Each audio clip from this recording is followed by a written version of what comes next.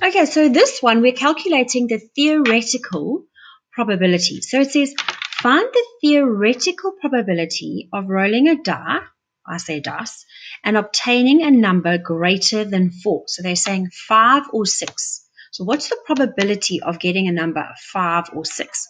So you first of all write your formula down. So your number is pre-event, PR event, is equal to the number of favorable outcomes. So how many favorable outcomes? Well, we said we want 5 or 6. So those are two favorable outcomes divided by your total number of outcomes. How many outcomes could you have? Well, it's a dice, so you could have six different outcomes.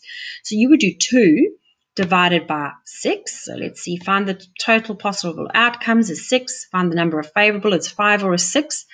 So your favorable outcomes is 2. And you write 2 over 6. But of course, we never leave that. We'll always change it to the lowest possible form, which is 1 over 3. So go ahead and give it a go.